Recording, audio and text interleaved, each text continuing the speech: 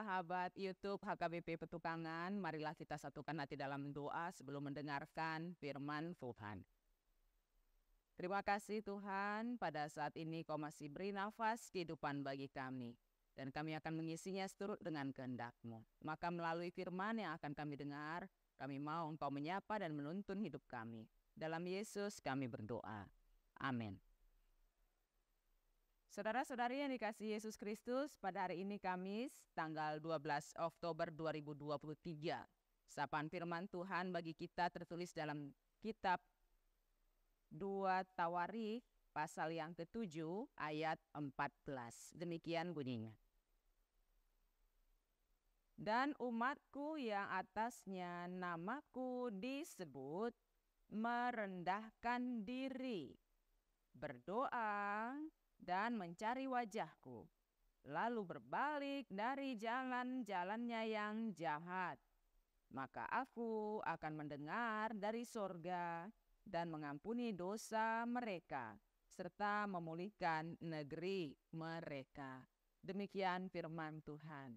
Saudara-saudariku, satu yang sangat dirindukan oleh Tuhan adalah kembalinya orang-orang yang jahat yang melakukan dosa-dosanya dan berbalik untuk bersikap seturut dengan firman Tuhan.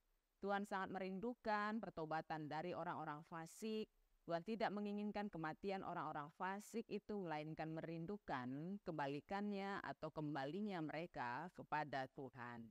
Itulah yang menjadi sukacita besar sekali dalam diri Allah, karena Dia tidak menginginkan satupun dari ciptaannya tersesat, satupun dari ciptaannya memasuki kematian yang kekal.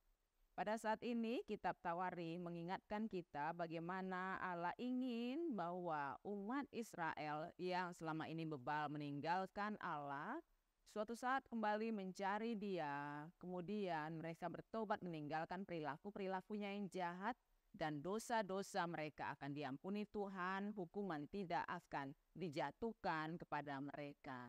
Akan tetapi apa yang Tuhan rindukan ini realitanya justru berbalik karena orang-orang Israel pada saat itu lebih mau mendengarkan suara-suara Allah-Allah atau ilah-ilah yang ada di sekitar mereka dan mereka lebih memihak atau menghadapkan wajahnya kepada sesembahan-sesembahan ilah-ilah lain yang ada di sekitarnya yang dipengaruhi oleh budaya-budaya asing.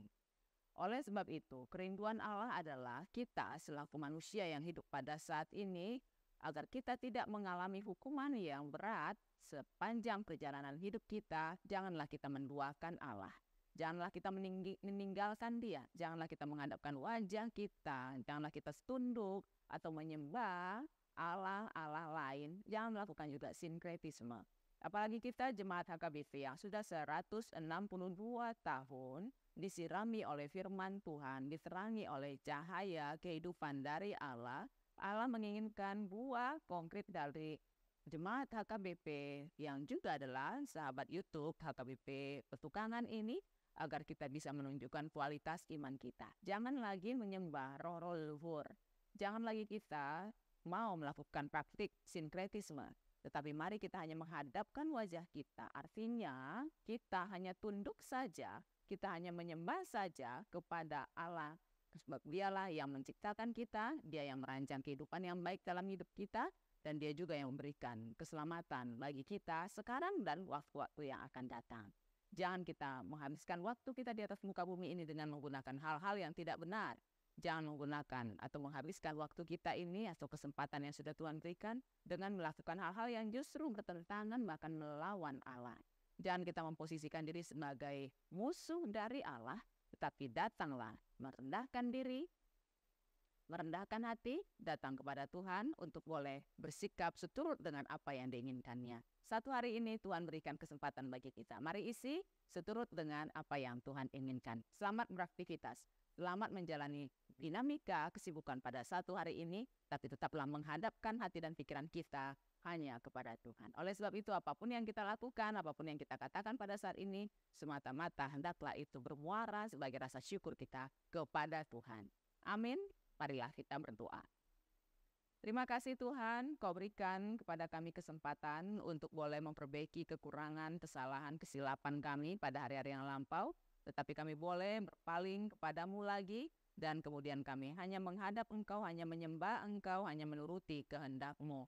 Biarlah kami orang-orang yang jahat yang melakukan banyak sekali dosa, kesalahan, boleh untuk meninggalkan segala kekurangan kami tersebut dan kami menjadi manusia yang taat di hadapanmu. Berkati seluruh jemaatmu dalam segala ragam aktivitasnya, dalam segala macam pergumulan mereka. Berkati juga mereka yang bersuka cita supaya tetap mengingat engkau.